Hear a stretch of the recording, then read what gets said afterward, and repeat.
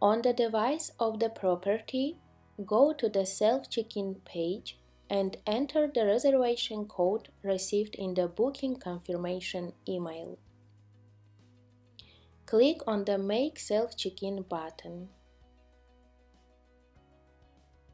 Fill in all the fields with the guest data. Put your signature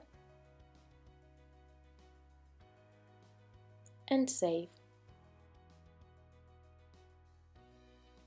It is possible to add a comment if necessary.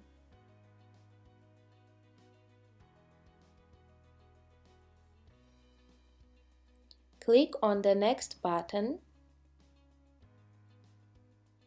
Scan pages of the document with guest data. Click on the Confirm button. Make sure that the self-check-in request has been sent. For this, the system will display a corresponding notification on the device screen.